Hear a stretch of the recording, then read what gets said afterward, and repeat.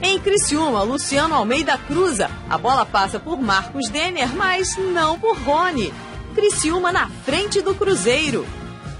Falta ensaiada, Martinez rola e Fred dispara, 1 um a 1. Um. Fred acerta a trave e Jussier aproveita o rebote. Cruzeiro 2, Criciúma 1. Um.